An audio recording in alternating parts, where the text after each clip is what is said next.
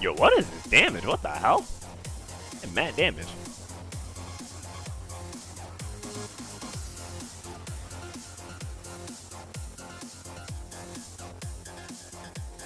Why did I do so much?